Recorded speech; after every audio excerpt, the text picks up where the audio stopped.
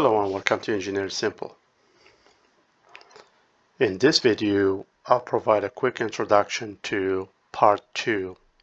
And so this is part 2A, which is just an introduction to transformer testing zero sequence impedance grounded Y, grounded Y without a delta. Part 1 was about grounded Y, grounded Y with a delta. So transformer zero sequence impedance, you know, is, is an important concept, especially in uh, system protection. So the positive and negative sequence flux path is the same for so for transformers. So basically the positive and negative is the same. The magnetic path for zero sequence flux is typically different from, from the positive and negative sequence flux path. So this is an important point. The negative and positive sequence flux cancel each other due to the 120 degree separation of each of the three-phase flux. Zero sequence impedance for three-phase, three-leg core is about 85 to 90% of the positive sequence impedance. The zero sequence impedance of five leg core is about 90 to 100% of the positive sequence. Shell form typically it's very close to the positive sequence impedance. So when you have a grounded Y, a grounded Y transformer, you know, for example, you know you have that's one phase there's another phase. So like I have like H1 bushing H2 bushing H3 bushing. And you have the neutral so you have the HO bushing which is connected to the neutral but then it's grounded. Then you have the low side is also uh, a, grounded winding. So X1, X2, X3, then you have X, X0 or XO bushing. It's grounded. And sometimes it depends on the design and the specification. These two bushings could be connected, you know, basically one neutral. So, and remember, this is a terminology that industry uses. The high side is H, the low side is X, at least in North America. So that's what I'm saying here. So grounded Y, grounded Y. So this might be 138 kV. This could be a 12 kV or 13 kV or some, something like that. So the equivalent, when you have a grounded Y, grounded Y transformer, the equivalent T model of a three-phase, three-leg core is required to model the zero sequence for short circuit purposes. And what is the T model? So if you remember for, from part one, which I recommend watching, so basically, you know,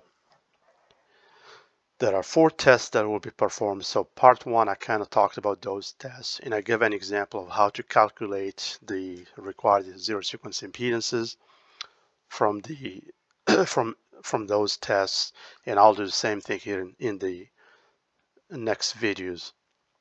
So basically,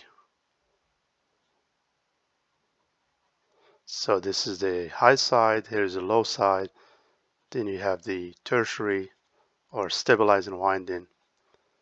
So in my in my example, I'm just going with H, X, Y. Some some industry, you know, members might do T for tertiary, meaning tertiary. For the high low side, they might do L. So I'm just going to stick with H, X, and Y. They mean the same thing. So during the zero sequence test, four tests will be performed. And again, these four tests, it's only if you have a grounded Y, grounded Y.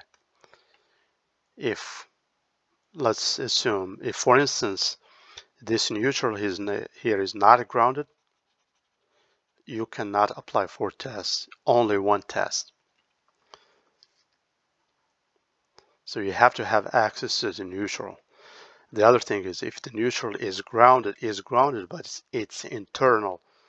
For small transformers, you know, if you assume this is the tank and you have the kind of core and coil assembly here. So you have the core and you have the windings kind of they're cylindrical for core form so since we have three phases so what they will do they will bring the neutral and sometimes they might ground it to the tank because the tank itself is grounded. In this case you cannot because you have to disconnect the neutral. So you have to have access to the neutral basically. So basically if this is the case especially small transformers they they might ground the, the neutral internally then what they would have to do is disconnect it for testing purposes and bring it out. And if you have a delta but since since uh, there's no delta in this case so we'll just cross this out for now. So then single phase voltage will be applied without exceeding the rating of, of any winding because sometimes when you the zero sequence test is uh, performed if you exceed the rating of any of the windings you are going to overheat the tank and cause problems. And you will see in some examples that I'm going to provide uh, with test information, the current really goes up very quick.